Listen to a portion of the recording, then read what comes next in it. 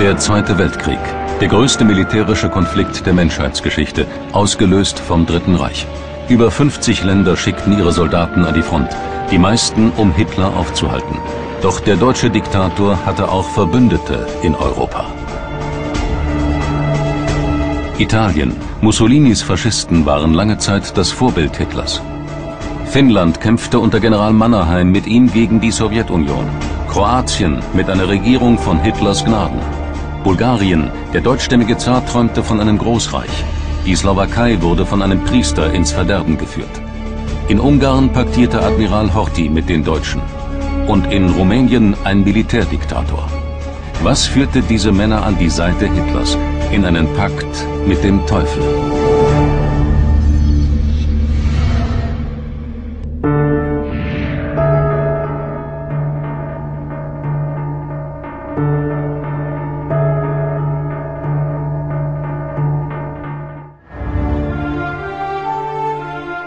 Rumänien, Anfang der 30er Jahre. König Karol II. inspizierte in blütenweißer Uniform die königlich rumänische Flotte. Als eine der Siegermächte des Ersten Weltkriegs hatte man seine Staatsfläche verdoppelt, präsentiert sich als aufstrebende europäische Mittelmacht mit Ambition zu größeren. Endlich will der deutschstämmige König aus dem Hause Hohenzollern-Sigmaringen sein Land aus dem Schatten des ungeliebten Nachbarn Ungarn führen – doch dazu benötigt er Verbündete.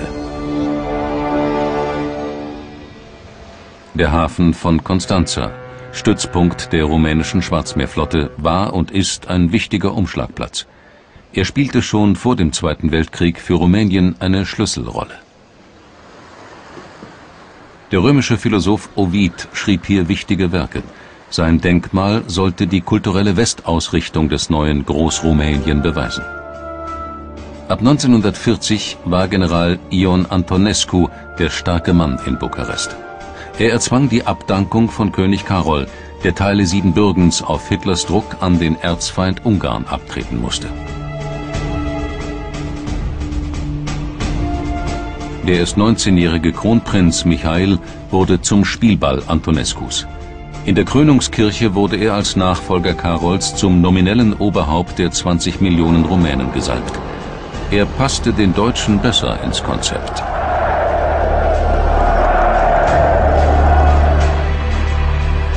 Die Strippen gezogen hatte bei diesem Coup die deutsche Botschaft in Bukarest. Mit Geheimdiplomatie wurde die hitlerfreundliche Regierung Antonescu installiert. Hitler hat in Antonescu ähm, sozusagen den einzigen Germanen in, in, in Bukarest sehen wollen. Antonescu hat ihm imponiert ihm als eine militärische Figur, als einen durchaus geschickten Staatschef, äh, dem es ähm, äh, gelang, nun die divergierenden Kräfte in Bukarest äh, zusammenzuhalten. Äh, König, Parlament, unterschiedliche äh, Parteien. Ein Mann, mit dem man reden konnte, mit dem man auf gleicher Wellenlänge sprechen konnte. Aber Hitler hat gegenüber Antonescu natürlich auch gleichzeitig diesen inneren Vorbehalt gehabt, dass er als Vertreter eines aus Hitlers Sicht korrupten, unterentwickelten Balkanlandes stammt, dem man letztlich nicht vertrauen kann. Ölförderanlagen. Darauf hatte Hitler es abgesehen. Rumänien besaß die größten Ölfelder Europas. Treibstoff, das war die Voraussetzung zum Führen eines modernen Bewegungskrieges mit Panzern. Siebenbürgen. Darum ging es den Rumänen. Dort wollten sie ihr Territorium gegen den alten Rivalen Ungarn wieder vergrößern.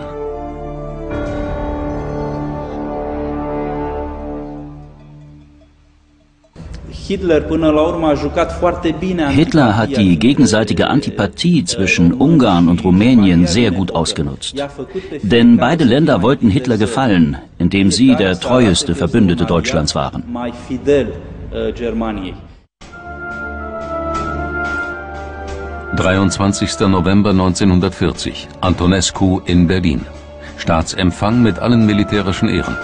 Den Deutschen geht es um das Öl, den Rumänen um Land, Macht und Prestige.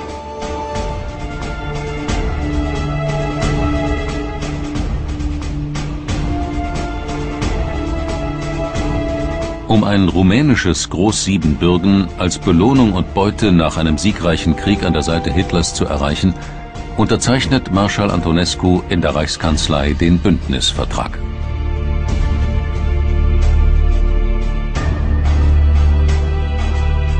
In gewohnt fantasievoller Uniform verabschiedet ein sichtlich gut gelaunter Göring Antonescu am Bahnhof. Die Nazis haben den Feldmarschall in der Tasche. Uh, Hitler hat Antonescu sogar überzeugt, Vegetarier zu werden und ihm dann für seine Küche speziell ausgebildete Köche aus Berlin geschickt. Ob es ihm geschmeckt hat, weiß ich nicht. Am 22. Juni 1941 griff Deutschland mit rumänischer Unterstützung die Sowjetunion an.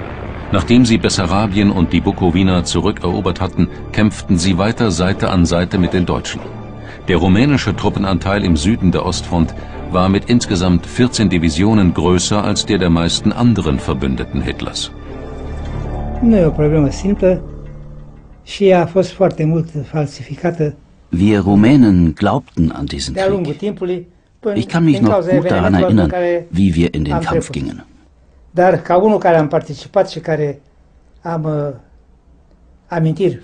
wir hatten Bessarabien und Nordtranssilvanien verloren. Und das wollten wir zurückerobern. Dafür kämpften wir. S-a plecat la război cu dorința de a lupta.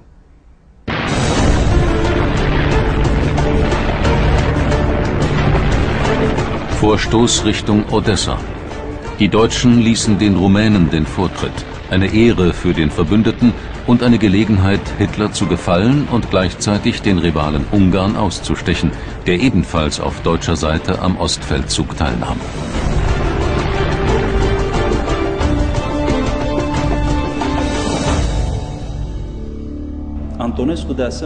Antonescu war in dieser Phase des Krieges sehr populär. Er galt vielen als Retter der rumänischen Ehre und des Stolzes. Zu lange hatten sie unter einer korrupten politischen Klasse gelitten, die zudem noch gewonnene Territorien zurückgegeben hatte. Er war der ersehnte nationale Retter.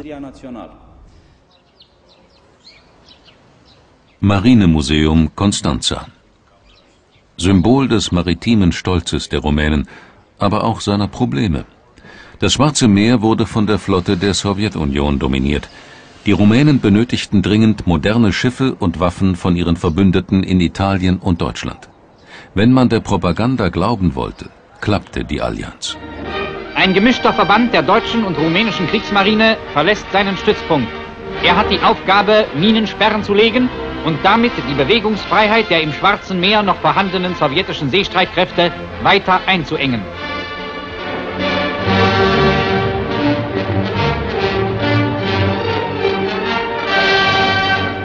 Die Zünder werden eingesetzt.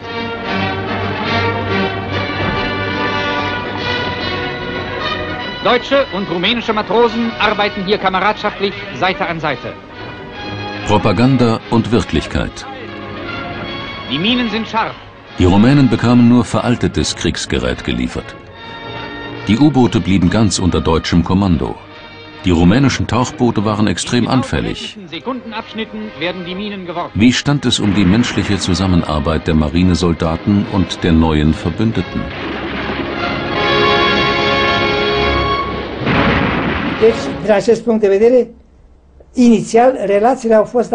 Das war die Beziehung von einem Großen zu einem Kleinen.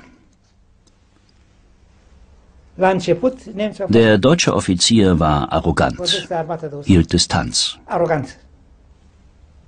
Manche deutsche Ausbilder schlugen die Rumänen.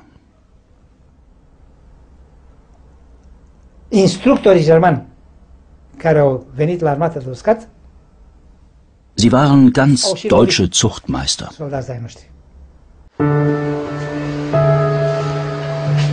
Bukarest der Sitz des Veteranenverbandes. Zwei Weltkriegsüberlebende, die als Kavalleristen den gesamten Ostfeldzug miterlebt haben, erinnern sich an die Waffenbrüderschaft. Sie haben zusammen mit den Deutschen gesiegt, aber auch die bitterste Niederlage erlebt.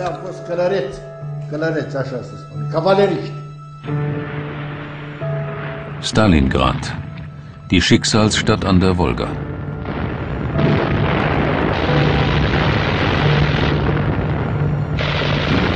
Die Schlacht um Stalingrad wurde zum Wendepunkt des Krieges. Stalin beorderte enorme Mengen an Material und Menschen in seine Stadt, die er Hitler keinesfalls überlassen wollte.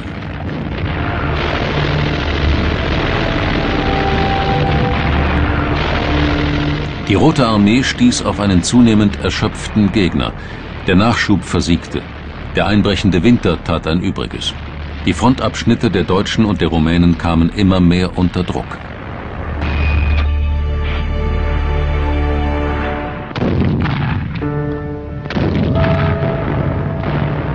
Ihre Versorgungslage wurde immer dramatischer.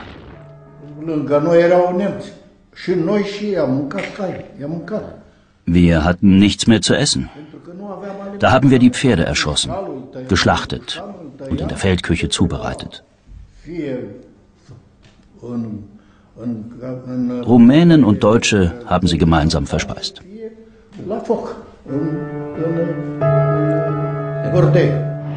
Winteroffensive der Roten Armee in Stalingrad. Der Kessel wurde enger, die Lage immer prekärer. Die Italiener wurden überrannt. Die Rumänen konnten ihren Abschnitt nicht halten. Später werden die Deutschen von einer Schweinerei sprechen und dabei die Verbündeten meinen. Nu numai Hitler a promis. Și Marșalul Antonescu și regele Mihai.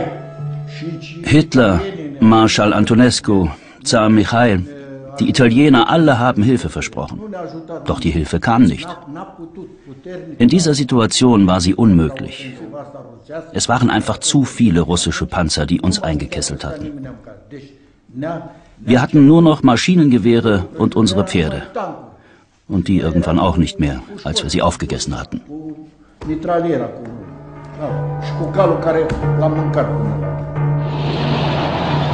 Stalins Panzer rückten vor. Hitler tobte im fernen Berlin in der gut geheizten Reichskanzlei. Ein Sündenbock, ein Schuldiger für das Versagen war schnell gefunden. Die Verbündeten, die feigen Italiener, Ungarn und Rumänen. Das angebliche Versagen der Verbündeten bei Stalingrad ist für Hitler natürlich eine wohlfeile Ausrede gewesen. Man muss schlichtweg äh, etwa bei den Rumänen auch sehen, welche militärischen Möglichkeiten haben sie gehabt. Sie haben eine völlig überdehnte Front gehabt. Sie hatten nicht die Ausrüstung, um äh, größere sowjetische Panzerangriffe zurückzuschlagen. Äh, unter vergleichbaren Verhältnissen hätten, hätte auch eine deutsche Armee versagt. Kapitulation von Paulus 6. Armee. 90.000 Deutsche wanderten in Gefangenschaft und mit ihnen tausende Rumänen, Ungarn, Italiener. Die meisten von ihnen haben ihre Heimat nie wiedergesehen. Unter der Hakenkreuzflagge, die auf der höchsten Ruine von Stalingrad weithin sichtbar gehisst wurde, vollzog sich der letzte Kampf. Generale, Offiziere, Unteroffiziere und Mannschaften fochten Schulter an Schulter bis zur letzten Patrone. Das Opfer der Armee war nicht umsonst. Sie starben, damit Deutschland lebe. Von den Verbündeten keine Silbe. Das Schulschiff Mircea in Konstanza, das Schwesterschiff der alten Gorch Fock, war schon während der Tage von Stalingrad im Dienst. Dem Hafen, vor allem seinen Güterterminals, kam damals eine besondere Bedeutung zu. Hier wurde der dringend benötigte Nachschub für die zurückweichende Front verladen. Nach der dramatischen Wende von Stalingrad kam für die rumänischen Schiffe eine neue Herausforderung hinzu. Die größte Aktion der rumänischen Marine mit deutscher Luftunterstützung war eine Evakuierung. Darüber konnten auch die martialischen Bilder und die heldenhafte Musik nicht hinwegtäuschen. Es ging um das nackte Überleben, eine ruhmlose Flucht vor der Vernichtung, sowohl für Deutsche wie auch Rumänen.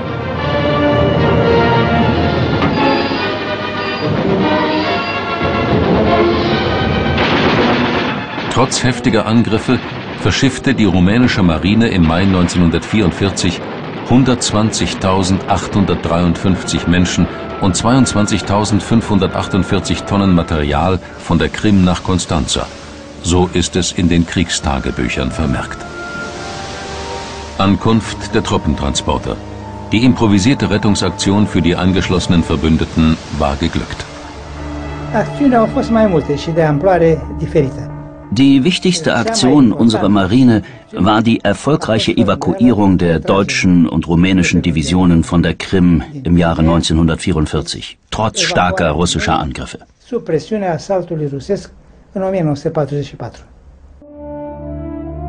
Im Hafen von Constanza war man stolz auf die Rettungsaktion, doch der Unmut der Rumänen über die Verbündeten wurde dadurch nicht geringer.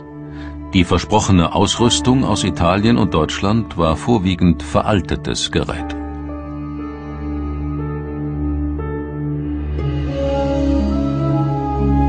Wollte oder konnte man dem ungeliebten Partner keine besseren Waffen geben? War das ein Ausdruck des Misstrauens gegen das Balkanvolk, das sich doch nur bewähren wollte, um gegen die verbündeten und zugleich verfeindeten Ungarn gut dazustehen? Rumänien als ehemaliger Kriegsgegner im Ersten Weltkrieg äh, war politisch für Hitler nicht äh, sonderlich interessant, aber äh, wirtschaftlich und strategisch schon. Es war ähm, in Berlin klar, schon 1939, dass man ohne das rumänische Öl, das hatte auch der Erste Weltkrieg gezeigt, äh, einen längeren Krieg nicht würde durchhalten können. Also man brauchte die Ölquellen Rumäniens, man brauchte aber nicht die Rumänen. Die Ölfelder bei Ploiești waren die ergiebigsten Europas. Pro Hektar konnte man 300.000 Tonnen Rohöl fördern, zehnmal so viel wie aus gewöhnlichen Ölquellen. Über die Donau wurde das schwarze Gold bequem und sicher nach Deutschland transportiert. Die Strategie ging auf. Doch Hitlers Krieg verlangte immer mehr Treibstoff.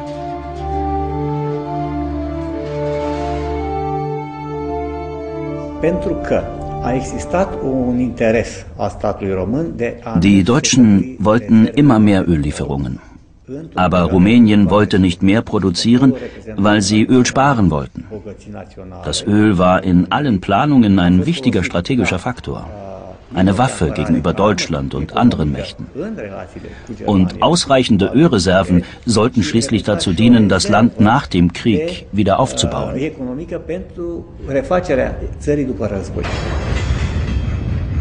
Das deutsche Hauptquartier in Ploiești.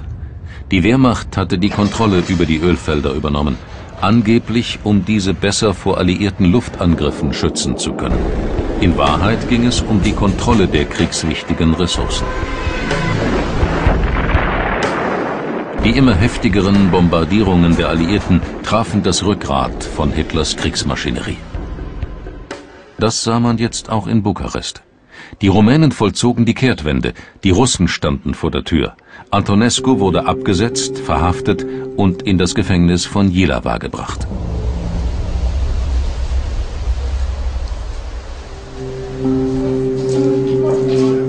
Der Diktator hatte als treuer Erfüllungsgehilfe nicht nur bei Hitlers Krieg, sondern auch bei seinen Verbrechen mitgemacht. Der Angriff auf die Sowjetunion war nur ein Vorwurf, dem er sich in seinem Prozess später gegenübersah. Über 300.000 rumänische Juden und mehr als 20.000 Roma schickte Antonescu gnadenlos in den Tod.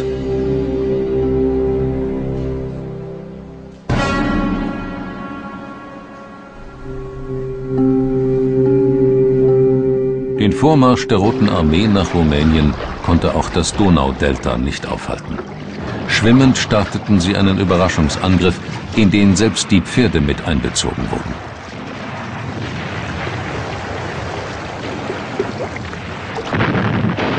Es folgten verbissene Kämpfe um die Ölfelder. Vermisste Hitler nun den Verbündeten, der drei Jahre an seiner Seite gestanden hatte? Die rumänischen Ölfelder waren sicherlich wichtiger als die rumänischen Soldaten.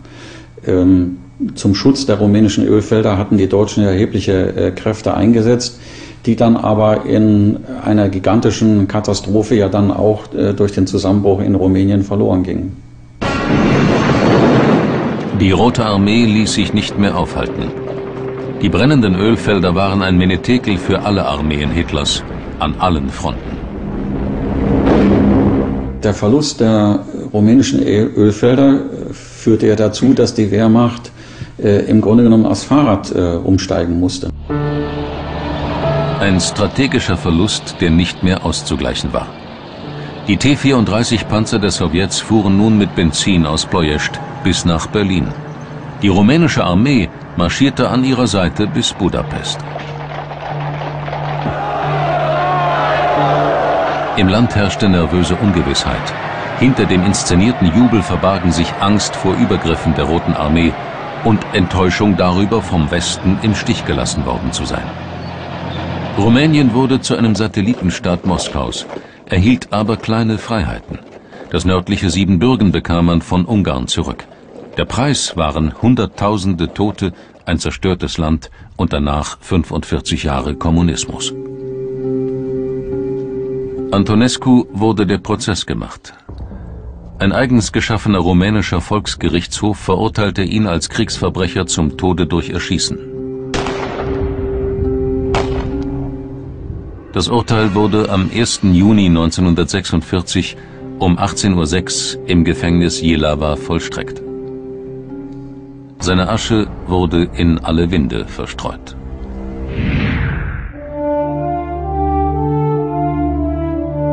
Ungarn formierte sich nach dem verlorenen Ersten Weltkrieg aus der Erbmasse des Habsburger K&K Vielvölkerstaats. Zwei Drittel der Fläche gingen damals verloren. Trotzdem lebten in dem Land an der Donau neben Ungarn etliche Minderheiten, Deutsche, Slowaken, Serben, Rumänen. Ein weiteres Vermächtnis des verlorenen Ersten Weltkriegs war der Verlust von Nordsiebenbürgen. Es wurde von den Siegermächten im Friedensvertrag von Trianon den verhassten Rumänen zugeschlagen. Dies war besonders bitter, lebte doch in Siebenbürgen eine große ungarische Volksgruppe. Der Verlust dieser Gebiete war ein Stachel, der tief in der ungarischen Volksseele steckte.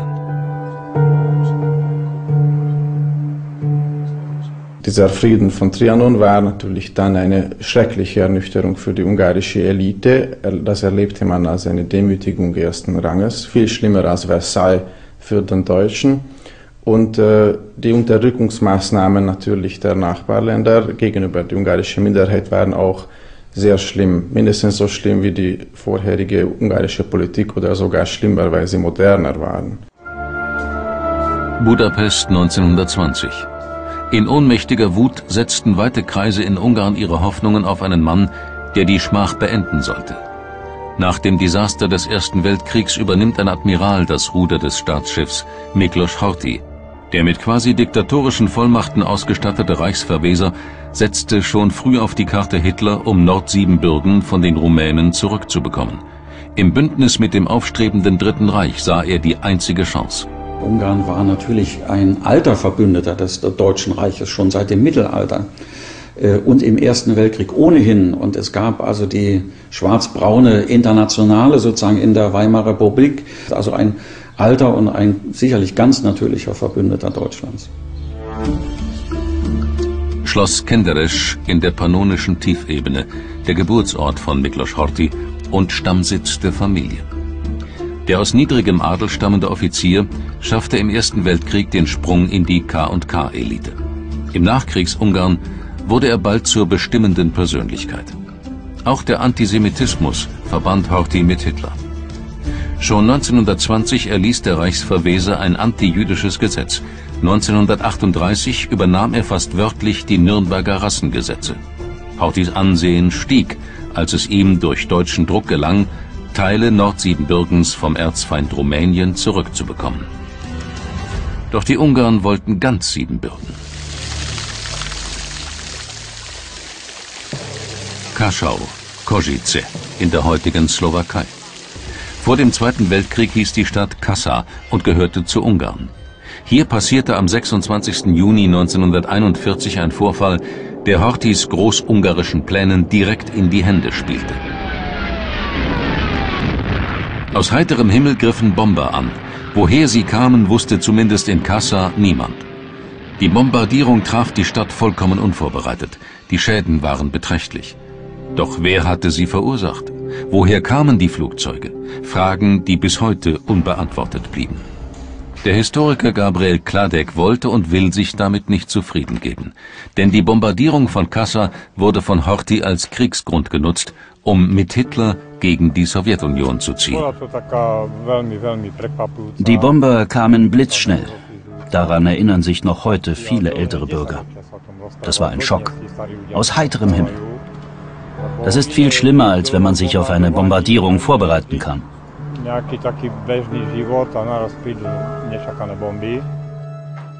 Das Rätsel der Bombardierung ließ Gabriel Kladek nie mehr los. Immerhin zogen deswegen Hunderttausende Ungarn in den Krieg und in den Tod. Akribisch sammelt er Beweisstücke, sichert die letzten erhaltenen Spuren der ominösen Geschichte. Viele Hypothesen kreisen um diesen Casus Belli. Eine Frage steht für Kladek im Zentrum seiner Nachforschungen. Wer hatte ein Interesse, die Stadt anzugreifen?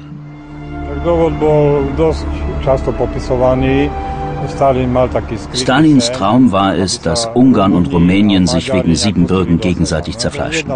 Dazu benötigte er eine Provokation, die dies auslösen sollte. Deshalb ließ er meiner Meinung nach Kaschau bombardieren. Stalins Rechnung ging nicht auf, wenn es seine war. Rumänien und Ungarn marschierten nämlich beide an der Seite Hitlers gen Osten. Horthy hatte gehofft, als er im Mai 1938 Deutschland besuchte, im Bündnis mit Hitler einen entscheidenden Vorteil gegenüber den Rumänen zu gewinnen. Er konnte nicht ahnen, dass sie mit demselben Ziel die Nähe des deutschen Führers suchten. Der Ausgang des Ringens um Siebenbürgen war also abhängig von der persönlichen Gunst Hitlers.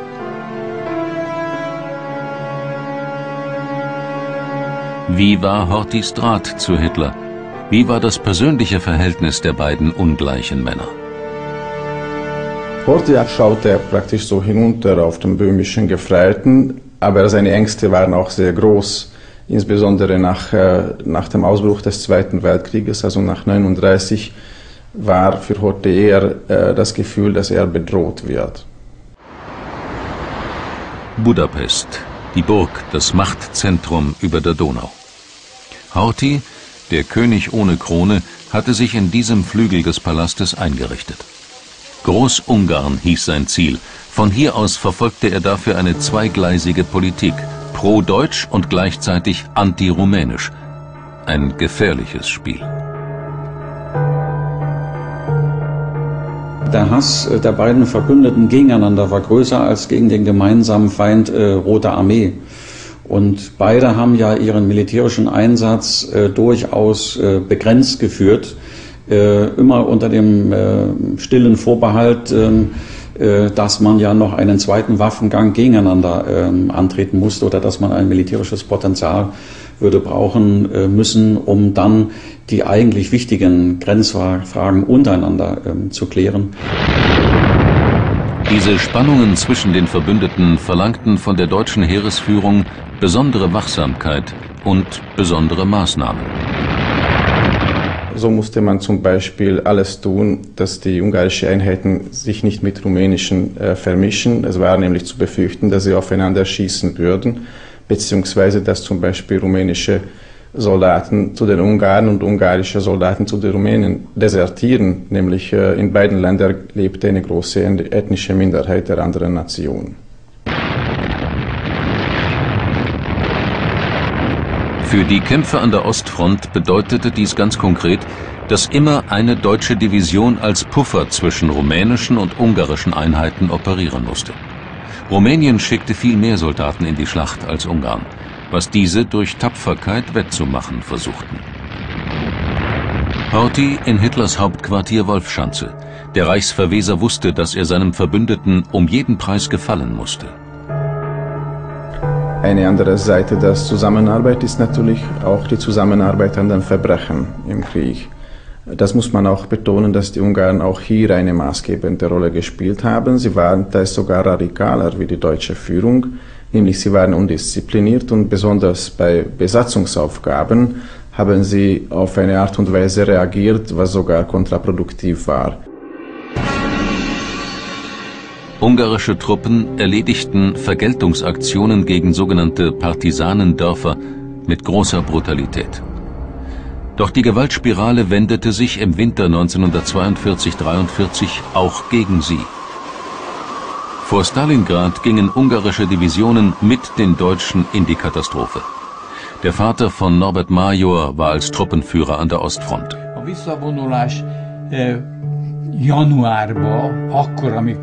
Der Winterkrieg war brutal. Fast minus 40 Grad.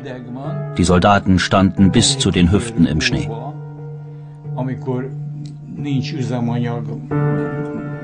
Es gab keinen Nachschub mehr, keinen Treibstoff.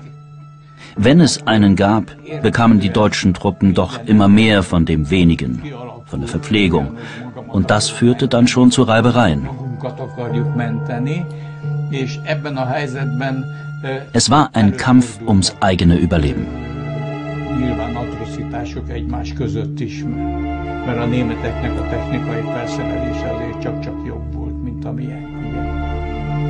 Norbert Major erlebte selbst als junger Kadett die Wende des Krieges. Sein Oberbefehlshaber auf der Budapester Burg, der Reichsverweser Horthy, sondierte derweil mit Geheimdiplomatie einen Seitenwechsel zu den Westalliierten. Der Admiral wollte weg vom ungeliebten böhmischen Gefreiten, nachdem ein Sieg und damit Großungarn immer unwahrscheinlicher wurden. Als die ungarische Regierung Kontakt mit den Alliierten aufnahm, wurde das Land von deutschen Truppen besetzt. Das ist die Tragik Ungarns natürlich, dass äh, es dann doch von den Westmächten im Stich gelassen äh, worden ist. Ange das Angebot zu einem Frontwechsel äh, war ja klar erkennbar. Äh, in London und Washington wollte man davon nicht äh, Gebrauch machen. Insofern standen die Ungarn auf einem verlorenen Posten. März 1944. Fall Margarete. Deutsche Soldaten besetzen Ungarn. Horthy wird festgenommen und der Führer der nationalfaschistischen Pfeilkreuzler, Ferenc Salaschi, der neue Verbündete von Hitlers Gnaden. Ins Hotel Majestic zog Adolf Eichmann ein, und organisierte mit einem Spezialkommando die Endlösung der Judenfrage in Ungarn. Todestreppen hinter den Gestapo-Häusern des Hotel Majestic. Erschießungen waren nun an der Tagesordnung. Die ungarischen Pfeilkreuzler waren eifrige Helfer bei der Vernichtung der Juden. Eichmann selbst war von der Übereifrigkeit der ungarischen Verwaltung überrascht. Äh, die Deportation ging mit einer Schnelligkeit, was kein, kein deutscher Führer erhofft hat, hätte. Auschwitz war völlig überlastet, die Kabine basteten und die Züge standen an den Rampen, weil jeden Tag kamen 10.000 Menschen neu an. Eichmann sagte auch, die Magyaren müssen die Nachfahren der Hunnen sein, weil so eine Brutalität habe er noch niemals erlebt. Die Synagoge von Budapest, das Zentrum des ehemaligen Ghettos. Hier wurden Hunderttausende Juden zusammengepfercht. Kurzzeitig war das Gebetshaus überfüllt, bis die Transporte nach Auschwitz, Majdanek, Treblinka begannen. Deutsche Namen schützten keineswegs. 75 Prozent der ungarischen Juden überlebten den Holocaust nicht. Die Pfeilkreuzler unter dem glühenden Antisemiten Ferenc Salaschi waren noch viel radikaler als Horthys Regime. Lange Jahre hatte Salaschi sich den Nazis angebiedert, doch erst der Verrat des Reichsverwesers brachte ihn und seine faschistische Organisation an die Macht. Die Weilheimer Zeitung berichtete von der Machtübernahme und der Verhaftung Horthys ausführlich. Kein Wunder. Der Reichsverweser wurde in einem kleinen Schlösschen bei Weilheim unter Hausarrest gestellt. Die Akten lagern heute noch im Stadtarchiv. Hitlergruß an der Donau. In Budapest tobte der Rassenhass, als an der Ostfront längst schon alle Zeichen auf Niederlage standen. Die fanatischen Fallkreuzler blendeten das aus. Endlich waren sie die Herren über Leben und Tod. Das Ghetto wurde aufgelöst. Die Transporte in die Todeslager im Osten. Eine deutsch-ungarische Gemeinschaftstat. Die Verfolgung der Juden, die schon bei der deutschen, nach der deutschen Besatzung begann, und mit der Deportation nach Auschwitz einen schrecklichen Höhepunkt erreichte. Die gingen natürlich dann weiter. Es gab Massenerschießungen in der Innenstadt, an der Donauufer, vor der kompletten ungarischen Bevölkerung. Das konnte also jeder wissen, was hier geschieht. Jeder konnte es sehen. Es gibt keine Ausreden, keine Entschuldigungen. Das ist auch die Botschaft eines einzigartigen Denkmals am Donauufer in Budapest. Schuhe aus Bronze. Sie stehen für die ungezählten Menschen, die auf der Promenade erschossen und deren Leichen einfach in die Donau geworfen wurden. Aus dem Kriegsbündnis war längst ein Bündnis der Verbrecher gegen die Menschlichkeit geworden.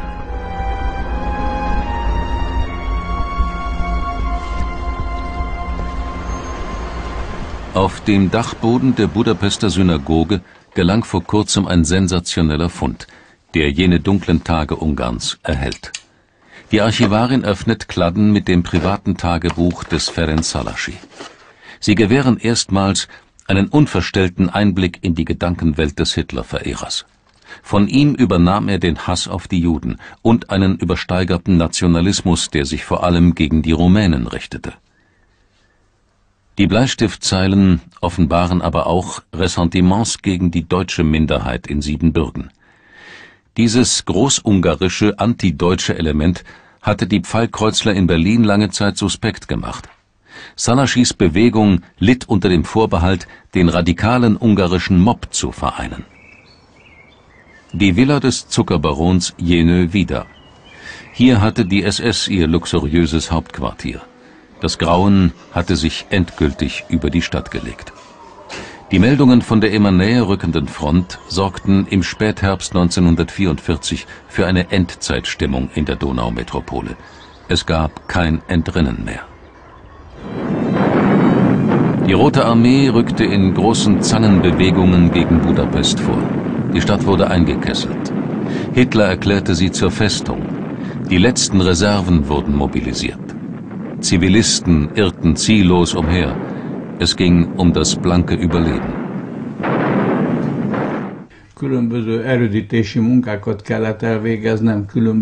Ich leitete verschiedene Befestigungsarbeiten. Wir haben Gebäude umgebaut und aus den Fenstern Schießscharten gemacht, Häuser richtiggehend befestigt. Eine Textilfabrik wurde zu einem Fort ausgebaut, das nach dem Krieg noch vom Militär genutzt wurde.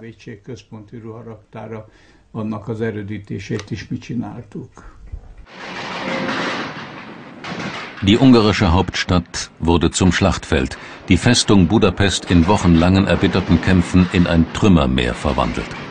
Doch trotz der Aussichtslosigkeit der Lage hielt der Widerstand an. Fürchteten die ungarischen und deutschen Verteidiger die Rache für ihre Verbrechen?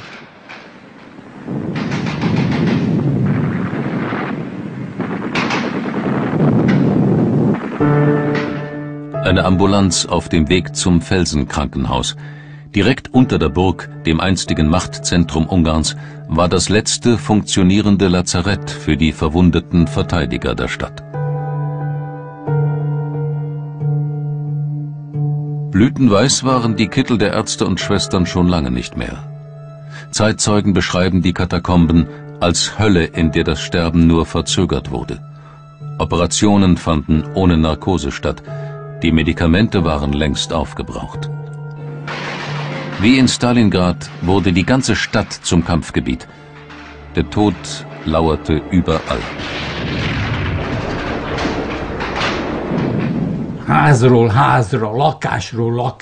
Das war eine Schlacht von Haus zu Haus, von Wohnung zu Wohnung.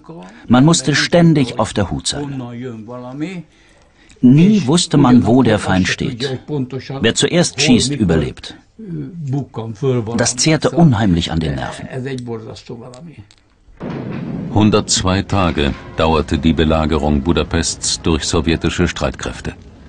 Zuletzt zogen sich die eingeschlossenen deutschen und ungarischen Truppen auf die Budaer Seite des Kessels zurück und sprengten sämtliche Brücken über die Donau. 38.000 Zivilisten starben im Stalingrad an der Donau. Diese Bezeichnung, dass das sei ein zweites Stalingrad, das haben ja die Russen von damals verwendet. Es ist also keine nachträgliche Erfindung eines Historikers.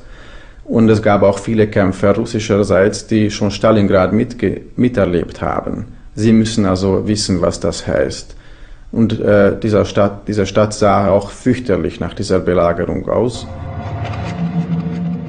Keine Stadt der Verbündeten hat so gelitten wie Budapest. Ungarn war Hitlers letzter und treuester Verbündeter.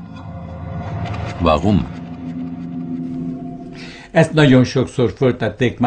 Das ist die Frage, die man mir immer wieder stellt. Warum habt ihr da gekämpft? Das war doch völlig aussichtslos. Das war doch Wahnsinn. Wir haben gekämpft, weil wir Soldaten waren. Wir hatten einen Eid geleistet. Nicht auf Salaschi, sondern auf seine Durchlaucht, den Reichsverweser Horthy. Horthy verkörperte das alte Ungarn.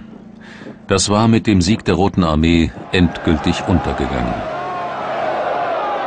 Auf der Burg zu Budapest wehte fortan die rote Fahne. 45 Jahre Kommunismus sollten die Stadt und das Land in eisernem Griff behalten.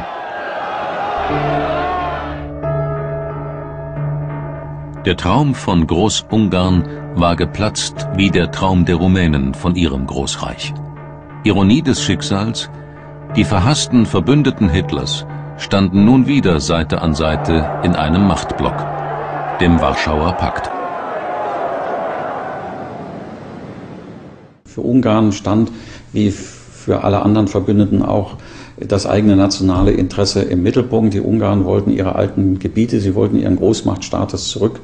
Dafür waren sie bereit, diese enormen Opfer zu tragen. Im Rückblick ähm, wird man sagen können, ähm, der Traum von Siebenbürgen war diese Opfer nicht wert. Der Traum des Reichsverwesers Horthy und vieler seiner Landsleute war das Resultat des Ersten Weltkriegs, wie auch die erbitterte Feindschaft zu Rumänien. Sie kosteten 360.000 ungarische Soldaten das Leben, sowie 590.000 Zivilisten, davon waren 490.000 Juden. Eine offene Diskussion über Schuld und Verantwortung wurde in Ungarn bis vor wenigen Jahren nicht geführt. Erst in einem vereinten Europa können diese Wunden zu heilen beginnen.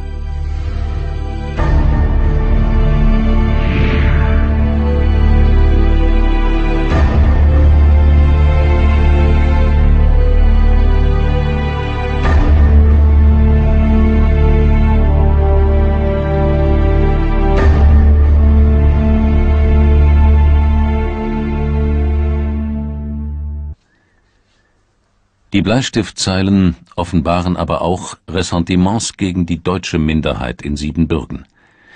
Dieses großungarische, antideutsche Element hatte die Pfeilkreuzler in Berlin lange Zeit suspekt gemacht.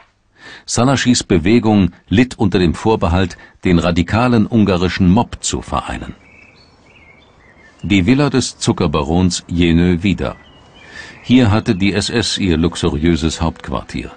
Das Grauen hatte sich endgültig über die Stadt gelegt.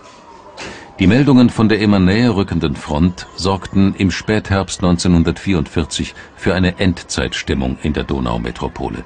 Es gab kein Entrinnen mehr.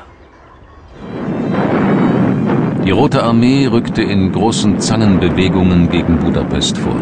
Die Stadt wurde eingekesselt. Hitler erklärte sie zur Festung. Die letzten Reserven wurden mobilisiert. Zivilisten irrten ziellos umher. Es ging um das blanke Überleben.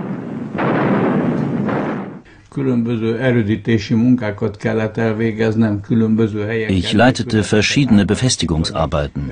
Wir haben Gebäude umgebaut und aus den Fenstern Schießscharten gemacht, Häuser richtiggehend befestigt. Eine Textilfabrik wurde zu einem Fort ausgebaut, das nach dem Krieg noch vom Militär genutzt wurde.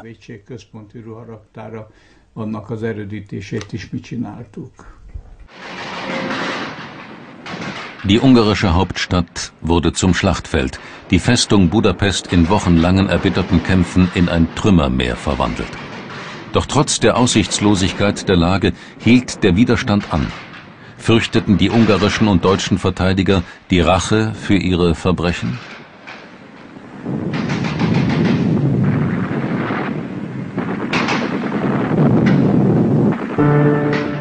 Eine Ambulanz auf dem Weg zum Felsenkrankenhaus. Direkt unter der Burg, dem einstigen Machtzentrum Ungarns, war das letzte funktionierende Lazarett für die verwundeten Verteidiger der Stadt. Blütenweiß waren die Kittel der Ärzte und Schwestern schon lange nicht mehr. Zeitzeugen beschreiben die Katakomben als Hölle, in der das Sterben nur verzögert wurde. Operationen fanden ohne Narkose statt, die Medikamente waren längst aufgebraucht. Wie in Stalingrad wurde die ganze Stadt zum Kampfgebiet. Der Tod lauerte überall.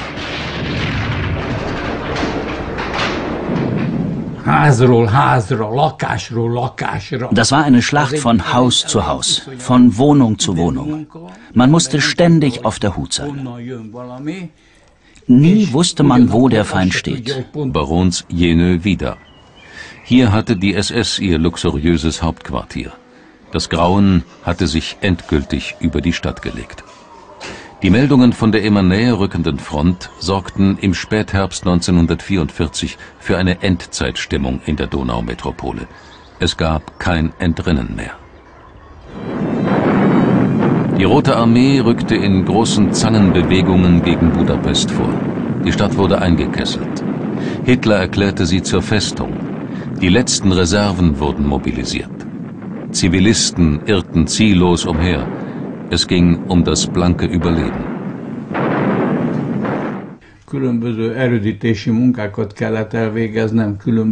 Ich leitete verschiedene Befestigungsarbeiten. Wir haben Gebäude umgebaut und aus den Fenstern Schießscharten gemacht, Häuser richtiggehend befestigt. Eine Textilfabrik wurde zu einem Fort ausgebaut, das nach dem Krieg noch vom Militär genutzt wurde.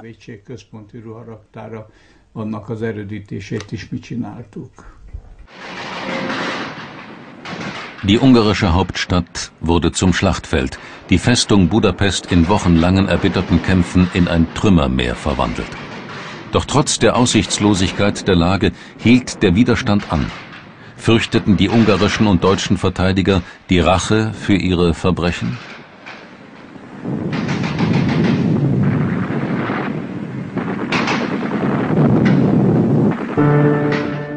Eine Ambulanz auf dem Weg zum Felsenkrankenhaus. Direkt unter der Burg, dem einstigen Machtzentrum Ungarns, war das letzte funktionierende Lazarett für die verwundeten Verteidiger der Stadt. Blütenweiß waren die Kittel der Ärzte und Schwestern schon lange nicht mehr. Zeitzeugen beschreiben die Katakomben als Hölle, in der das Sterben nur verzögert wurde. Operationen fanden ohne Narkose statt, die Medikamente waren längst aufgebraucht. Wie in Stalingrad wurde die ganze Stadt zum Kampfgebiet. Der Tod lauerte überall.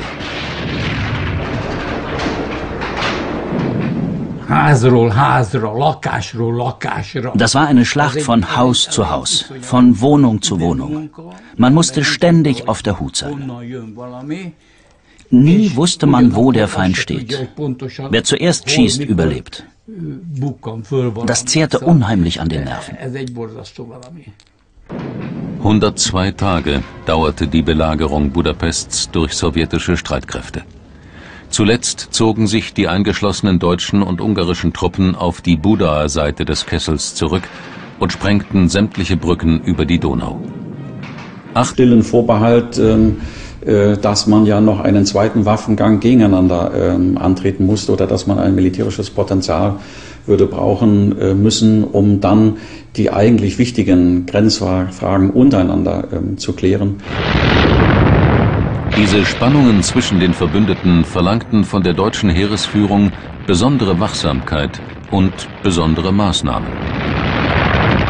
So musste man zum Beispiel alles tun, dass die ungarischen Einheiten sich nicht mit rumänischen äh, vermischen. Es war nämlich zu befürchten, dass sie aufeinander schießen würden, beziehungsweise dass zum Beispiel rumänische Soldaten zu den Ungarn und ungarische Soldaten zu den Rumänen desertieren. Nämlich äh, in beiden Ländern lebte eine große ethnische Minderheit der anderen Nationen.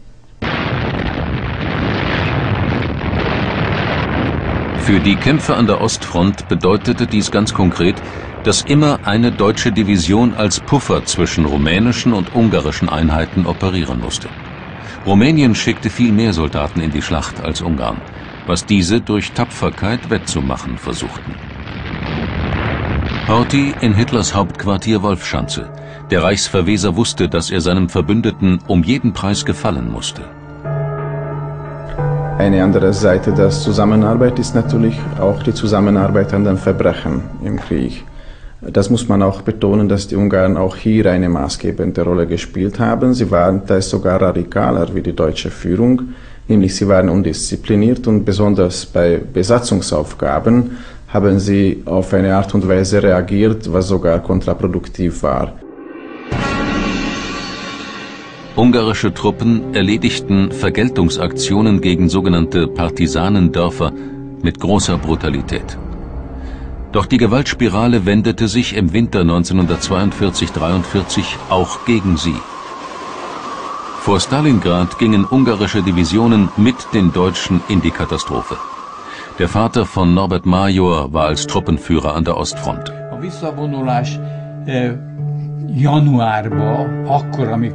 Der Winterkrieg war brutal. Fast minus 40 Grad. Die Soldaten standen bis zu den Hüften im Schnee.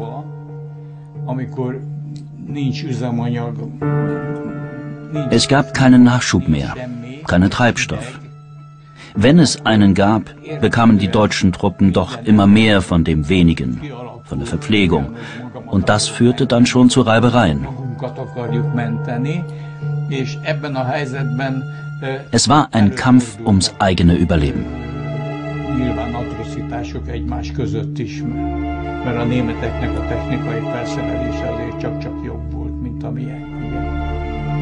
Äh, gelang nun die divergierenden Kräfte in Bukarest äh, zusammenzuhalten. Äh, König, Parlament, unterschiedliche äh, Parteien. Ein Mann, mit dem man reden konnte, mit dem man auf gleicher Wellenlänge sprechen konnte. Aber Hitler hat gegenüber Antonescu natürlich auch gleichzeitig diesen inneren Vorbehalt gehabt, dass er im, als Vertreter eines aus Hitlers Sicht korrupten, unterentwickelten Balkanlandes stammt, dem man letztlich nicht vertrauen kann. Ölförderanlagen. Darauf hatte Hitler es abgesehen. Rumänien besaß die größten Ölfelder Europas. Treibstoff das war die Voraussetzung zum Führen eines modernen Bewegungskrieges mit Panzern. Siebenbürgen, darum ging es den Rumänen. Dort wollten sie ihr Territorium gegen den alten Rivalen Ungarn wieder vergrößern.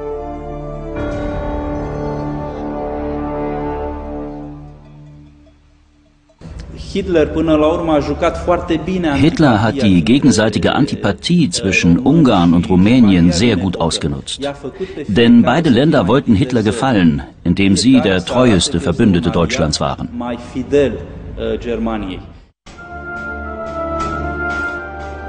23. November 1940, Antonescu in Berlin. Staatsempfang mit allen militärischen Ehren. Den Deutschen geht es um das Öl, den Rumänen um Land, Macht und Prestige.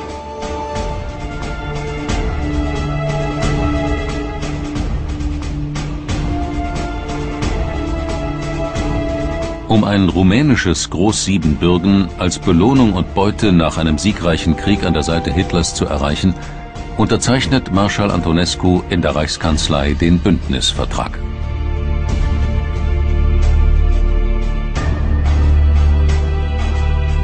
In gewohnt fantasievoller Uniform verabschiedet ein sichtlich gut gelaunter Göring Antonescu am Bahnhof. Die Nazis haben den Feldmarschall in der Tasche. Uh, Hitler hat Antonescu sogar überzeugt, Vegetarier zu werden und ihm dann für seine Küche speziell ausgebildete Köche aus Berlin geschickt. Ob es ihm geschmeckt hat, weiß ich nicht.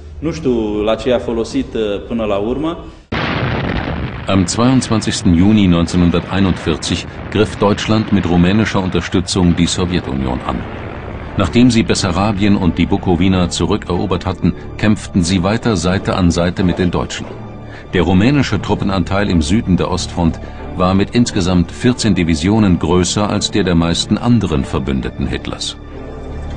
Den Rivalen Ungarn wieder vergrößern.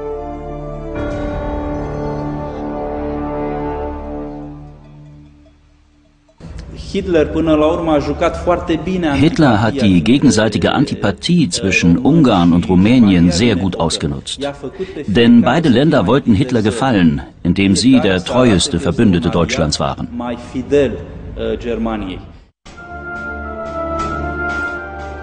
23. November 1940, Antonescu in Berlin. Staatsempfang mit allen militärischen Ehren.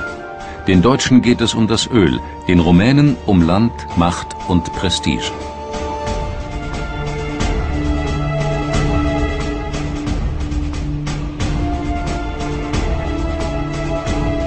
Um ein rumänisches Großsiebenbürgen als Belohnung und Beute nach einem siegreichen Krieg an der Seite Hitlers zu erreichen, unterzeichnet Marschall Antonescu in der Reichskanzlei den Bündnisvertrag.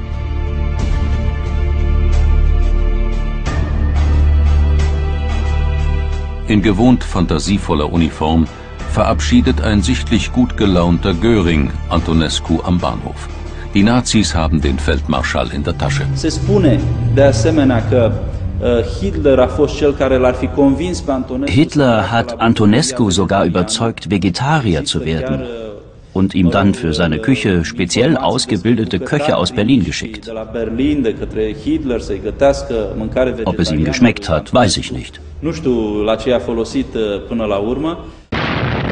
Am 22. Juni 1941 griff Deutschland mit rumänischer Unterstützung die Sowjetunion an.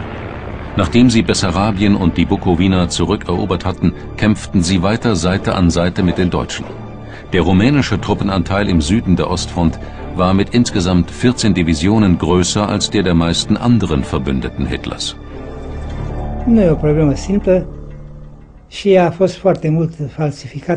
Wir Rumänen glaubten an diesen Krieg. Ich kann mich noch gut daran erinnern, wie wir in den Kampf gingen. Dar ca unul care am participat și care am uh. Wir hatten Bessarabien und Nordtransilvanien verloren. Und das wollten wir zurückerobern. Dafür kämpften wir. S-a plecat la război cu dorința de a lupta.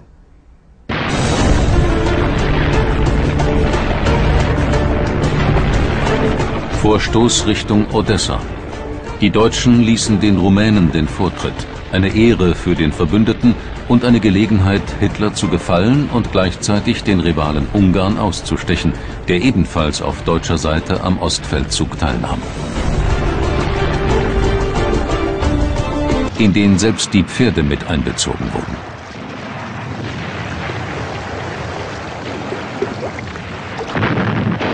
Es folgten verbissene Kämpfe um die Ölfelder. Vermisste Hitler nun den Verbündeten, der drei Jahre an seiner Seite gestanden hatte? Die rumänischen Ölfelder waren sicherlich wichtiger als die rumänischen Soldaten. Ähm, zum Schutz der rumänischen Ölfelder hatten die Deutschen erhebliche äh, Kräfte eingesetzt, die dann aber in einer gigantischen Katastrophe ja dann auch äh, durch den Zusammenbruch in Rumänien verloren gingen. Die Rote Armee ließ sich nicht mehr aufhalten. Die brennenden Ölfelder waren ein Menetekel für alle Armeen Hitlers an allen Fronten. Der Verlust der rumänischen Ölfelder führte ja dazu, dass die Wehrmacht äh, im Grunde genommen aufs Fahrrad äh, umsteigen musste. Ein strategischer Verlust, der nicht mehr auszugleichen war. Die T-34 Panzer der Sowjets fuhren nun mit Benzin aus Ploiești bis nach Berlin. Die rumänische Armee marschierte an ihrer Seite bis Budapest. Im Land herrschte nervöse Ungewissheit. Hinter dem inszenierten Jubel verbargen sich Angst vor Übergriffen der Roten Armee und Enttäuschung darüber, vom Westen im Stich gelassen worden zu sein. Rumänien wurde zu einem Satellitenstaat Moskaus, erhielt aber kleine Freiheiten.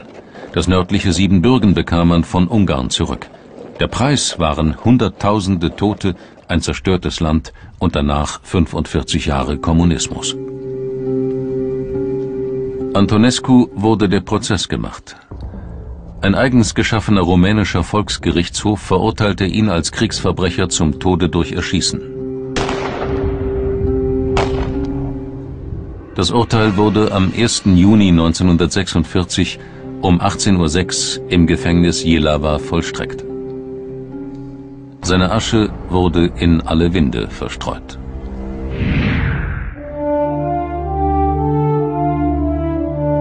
Ungarn formierte sich nach dem verlorenen Ersten Weltkrieg aus der Erbmasse des Habsburger K&K Vielvölkerstaats.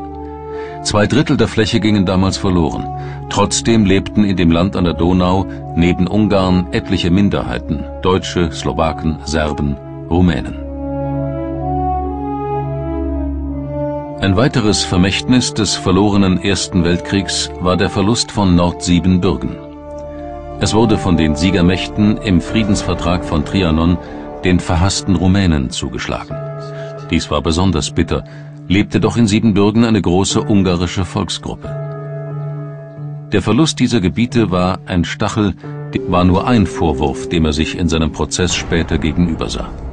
Über 300.000 rumänische Juden und mehr als 20.000 Roma schickte Antonescu gnadenlos in den Tod.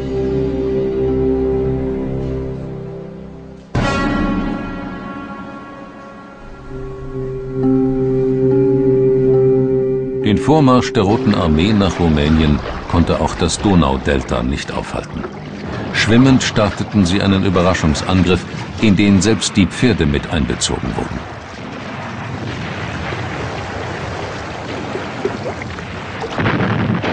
Es folgten verbissene Kämpfe um die Ölfelder.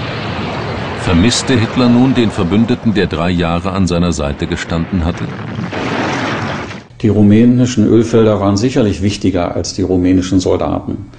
Ähm, zum Schutz der rumänischen Ölfelder hatten die Deutschen erhebliche äh, Kräfte eingesetzt, die dann aber in einer gigantischen Katastrophe ja dann auch äh, durch den Zusammenbruch in Rumänien verloren gingen. Die Rote Armee ließ sich nicht mehr aufhalten. Die brennenden Ölfelder waren ein Menetekel für alle Armeen Hitlers an allen Fronten. Der Verlust der rumänischen Ölfelder führte ja dazu, dass die Wehrmacht äh, im Grunde genommen aufs Fahrrad äh, umsteigen musste. Ein strategischer Verlust, der nicht mehr auszugleichen war. Die T-34 Panzer der Sowjets fuhren nun mit Benzin aus Ploiești bis nach Berlin. Die rumänische Armee marschierte an ihrer Seite bis Budapest. Im Land herrschte nervöse Ungewissheit. Hinter dem inszenierten Jubel verbargen sich Angst vor Übergriffen der Roten Armee und Enttäuschung darüber, vom Westen im Stich gelassen worden zu sein. Rumänien wurde zu einem Satellitenstaat Moskaus, erhielt aber kleine Freiheiten. Das nördliche Siebenbürgen bekam man von Ungarn zurück. Der Preis waren Hunderttausende Tote, ein zerstörtes Land und danach 45 Jahre Kommunismus. Antonescu wurde der Prozess gemacht. Ein eigens geschaffener rumänischer Volksgerichtshof verurteilte ihn als Kriegsverbrecher zum Tode durch Erschießen. Das Urteil wurde am 1. Juni 1946 um 18.06 Uhr im Gefängnis Jihlava vollstreckt. Seine Asche wurde in alle Winde verstreut.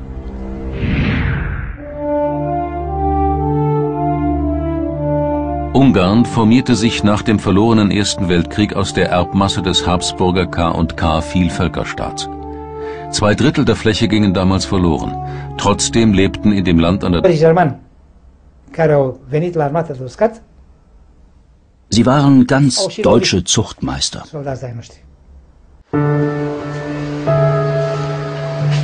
Bukarest, der Sitz des Veteranenverbandes. Zwei Weltkriegsüberlebende, die als Kavalleristen den gesamten Ostfeldzug miterlebt haben, erinnern sich an die Waffenbrüderschaft. Sie haben zusammen mit den Deutschen gesiegt, aber auch die bitterste Niederlage erlebt.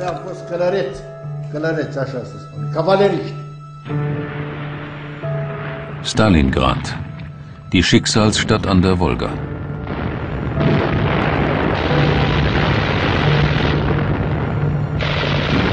Die Schlacht um Stalingrad wurde zum Wendepunkt des Krieges. Stalin beorderte enorme Mengen an Material und Menschen in seine Stadt, die er Hitler keinesfalls überlassen wollte.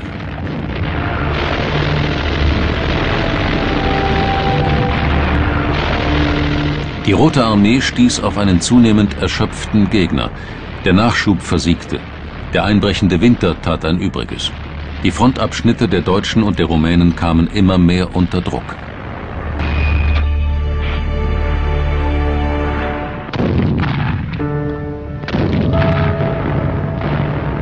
Ihre Versorgungslage wurde immer dramatischer.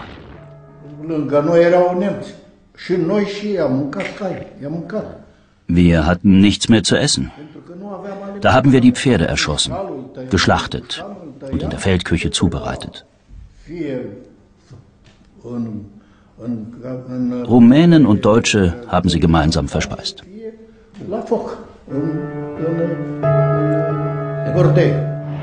Winteroffensive der Roten Armee in Stalingrad. Der Kessel wurde enger, die Lage immer prekärer. Die Italiener wurden überrannt. Die Rumänen konnten ihren Abschnitt nicht halten. Später werden die Deutschen von einer Schweinerei sprechen und dabei die Verbündeten meinen.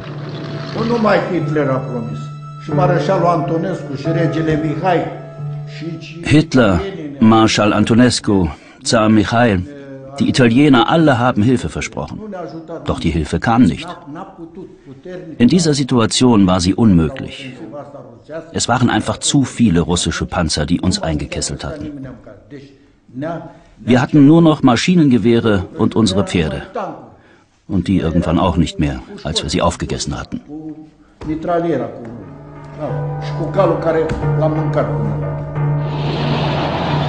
Stalins Panzer rückten vor. Hitler tobte im fernen Berlin in der gut geheizten Reichskanzlei. Ein Sündenbock, ein Schuldiger für das Versagen war schnell gefunden. Die Verbündeten, die feigen Unterstützung die Sowjetunion an. Nachdem sie Bessarabien und die Bukowina zurückerobert hatten, kämpften sie weiter Seite an Seite mit den Deutschen. Der rumänische Truppenanteil im Süden der Ostfront war mit insgesamt 14 Divisionen größer als der der meisten anderen Verbündeten Hitlers. E. Wir Rumänen glaubten an diesen Krieg. Ich kann mich noch gut daran erinnern, wie wir in den Kampf gingen. Dar ca unul care am participat și care am uh, amintiri foarte clare. Wir hatten Bessarabien und Nordtranssilvanien verloren. Und das wollten wir zurückerobern. Dafür kämpften wir. S-a plecat la război cu dorința de a lupta.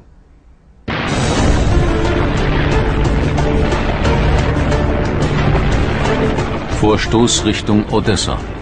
Die Deutschen ließen den Rumänen den Vortritt. Eine Ehre für den Verbündeten und eine Gelegenheit, Hitler zu gefallen und gleichzeitig den Rivalen Ungarn auszustechen, der ebenfalls auf deutscher Seite am Ostfeldzug teilnahm.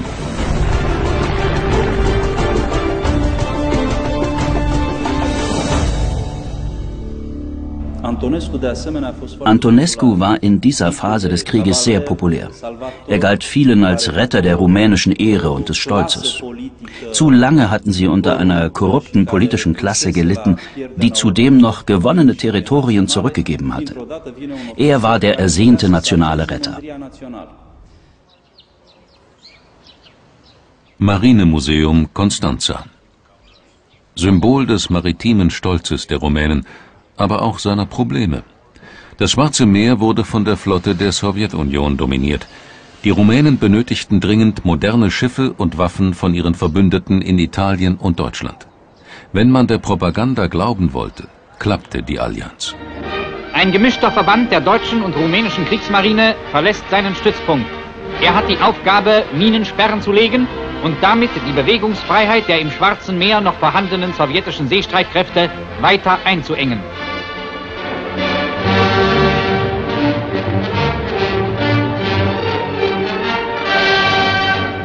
Die Zünder werden eingesetzt.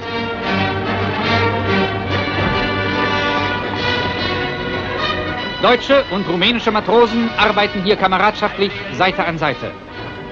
Propaganda und Wirklichkeit. Die Minen sind scharf. Die Rumänen bekamen nur veraltetes Kriegsgerät geliefert. Die U-Boote blieben ganz unter deutschem Kommando. Die rumänischen Tauchboote waren extrem anfällig.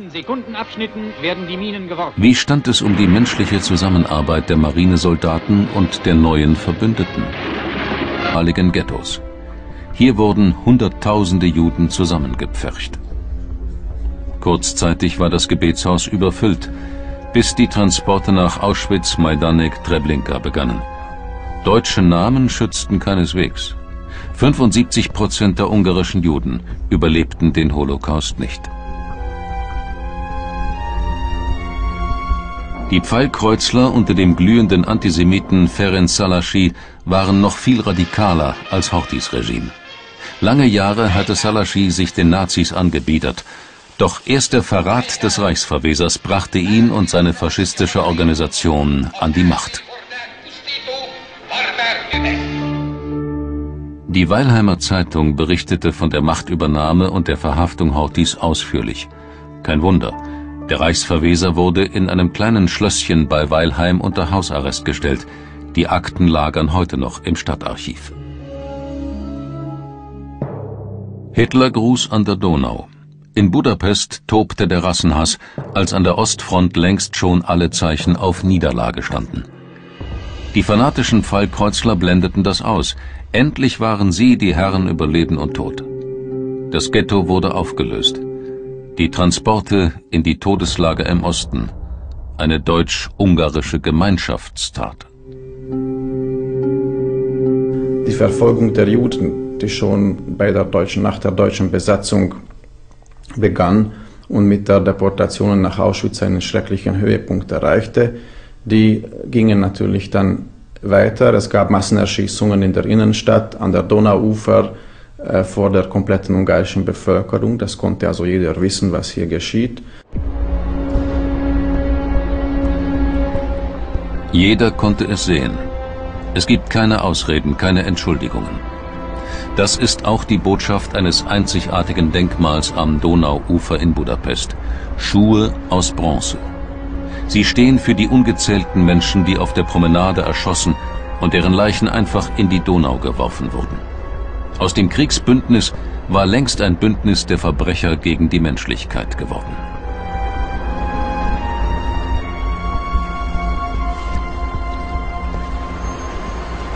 Auf dem Dachboden der Budapester Synagoge gelang vor kurzem ein sensationeller Fund, der jene dunklen Tage Ungarns erhält. Die Archivarin öffnet Kladden mit dem privaten Tagebuch des Ferenc Salaschi. Sie gewähren erstmals einen unverstellten Einblick in die Gedankenwelt des Hitlerverehrers. Von ihm übernahm er den Hass auf die Juden und einen übersteigerten Nationalismus, der sich vor allem gegen die Rumänen richtete. Die Bleistiftzeilen offenbaren aber